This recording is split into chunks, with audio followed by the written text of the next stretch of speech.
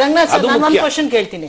ಈ ಇನ್ಸಿಡೆಂಟ್ ಅಲ್ಲಿ ಆಯ್ತು. ಆಗಿದ್ದು ಇವರು ಎಲ್ಲ ನಮ್ಮ ಕನ್ನಡ ಸಂಸ್ಥೆಗಳೆಲ್ಲ ಅಲ್ಲೋ ಗಲಾಟೆ ಮಾಡಿದ್ಮೇಲೆ ಅವನು ಅವತ್ತು ಒಳಗೆ ಇದ್ದ. ಅವ್ರು ಬಿಡಿ ಅವ್ರೊಂಥರ ಎಕ್ಸ್ಟ್ರಾ ಫೋರ್ಸಸ್ ತರ ಒಳಗೆ ಬಂದಿರೋ ಒಂದ್ ನಿಮಿಷ ಅವತ್ತು ನಿತ್ಯಾನಂದ ಒಳಗೆ ಇದ್ದ. ಆಯ್ತಾ ಪೊಲೀಸ್ ಕಾವಲು ಎಲ್ಲಾ ಗೇಟಿಗೂ ಹಾಕಿದ್ರ ಅವತ್ತು. ಅವತ್ತಿಂದ ಇವತ್ತಿನವರೆಗೂ ಸ್ಟಿಲ್ ಇದೆ ಕಾವಲು. ಅವನು ಎಲ್ಲೋದ ಯಾರ ಸಹಾಯದಿಂದ ಅವನ ಎಲ್ಲಿ ಆಚೆ ಹೋದ? ಎಲ್ಲಿ ಹೋಗಿದ್ದಾನೆ ಅಥವಾ ಅಲ್ಲೇ ಇದ್ದಾನೆ? ಅದು ಪೊಲೀಸರಿಗೆ ತಾನೇ ಗೊತ್ತಾಗ್ಬೇಕು. ಹುಡುಕ್ತಾ ಇದೀವಿ ಹುಡುಕ್ತಾ ಇದೀವಿ ಯಾಕೆ ಬೇಕು ಈ ನಾಟಕ?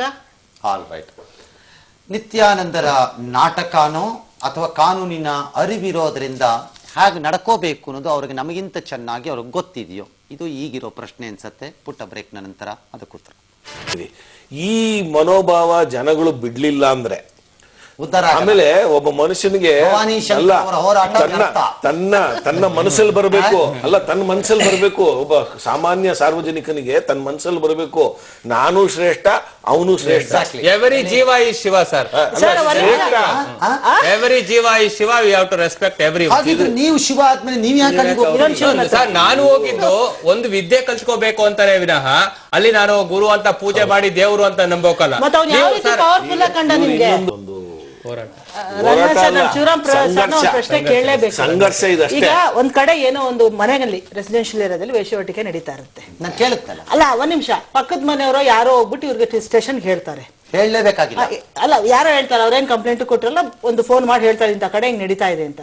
ಇವ್ರು ಸೀದಾ ಹೋಗ್ಬಿಟ್ಟು ಎಲ್ಲ ರೈಟ್ ಮಾಡಿ ಅಲ್ಲಿ ಬೀಗ ಹಾಕೊಂಡ್ಬರಲ್ವಾ ಇವನ್ ಇವನ್ ವಿಷಯದಲ್ಲಿ ಯಾಕೆ ಆತರ ಆಕ್ಷನ್ ತಗೊಳ್ಳಲ್ಲ ಪೊಲೀಸ್ ಡಿಪಾರ್ಟ್ಮೆಂಟ್ ಅದನ್ನೇ ನಾನು ಅವ್ರನ್ನ ಅವಾಗ ಕೇಳಿ ಎಸ್ ಐ ಟಿ ಕೇಸಸ್ ನಲ್ಲಿ ಬಹಳ ಸರಳವಾದ ಪ್ರೊಸೀಜರ್ ಯಾವುದಕ್ಕೂ ಕಾಯಲ್ಲಪ್ಪ. ಹೋಗ್ತಾರೆ ಒಳಗಡೆ ನುಗ್ಗುತ್ತಾರೆ ಅಲ್ಲಿ ಏನಾದ್ರು ಇದ್ರೆ ಕರ್ ತಗೊಳ್ತಾರೆ ವಾಪಸ್ ಆಚೆ ಬರ್ತಾರಪ್ಪ. ಸೇಮ್ ಆಮೇಲೆ ಟ್ರೀಟ್ಮೆಂಟ್ ಕೆಲವು ಕಡೆ ಸಿಕ್ಕಲ್ಲ ಅದ್ ಯಾಕೆ ಅಂತ ಜನಕ್ಕೆ ಅನುಮಾನ. ಇಲ್ಲಿ ಹೆಣ್ಣು ಮಕ್ಕಳು ಆ ಸ್ವಾಮೀಜಿ ಜೊತೆ ಅಸಭ್ಯವಾಗಿ ವರ್ತಿಸೋದನ್ನ ನಾವೆಲ್ಲೂ ಕಂಡಿಲ್ಲ. ಅಥವಾ ಸ್ವಾಮಿ ವರ್ಚಿರೋದನ್ನ ಪಕ್ಕದ ಮನೇಲಿ. ಹೇಳ್ತೀನಿ. ಸರ್, ಇದು ನಾವು ಪೊಲೀಸ್ನವ್ರು ಹೋದಾಗ ಯಾವುದೇ ಒಬ್ಬ ಪೊಲೀಸ್ ಅಧಿಕಾರಿ ಹೋದಾಗ ಆ ಯಾರೋ ಎಲ್ಲ ಈ ಅರೆಬೆತ್ತಲೆ ಕುಣಿತಾ ಇರ್ತಾರೆ ವಿಕೃತವಾಗಿ ಡ್ಯಾನ್ಸ್ ಮಾಡ್ತಾ ಇದ್ದಾರೆ. ಅದು ಈ ಪ್ರಿವೆನ್ಷನ್ ಆಫ್ ಇಮಾರಲ್ ಟ್ರಾಫಿಕ್ ಆಕ್ಟ್ನ ಯಾವುದೇ ಸೆಕ್ಷನ್ ಅಟ್ರಾಕ್ಟ್ ಮಾಡೋದಿಲ್ಲ.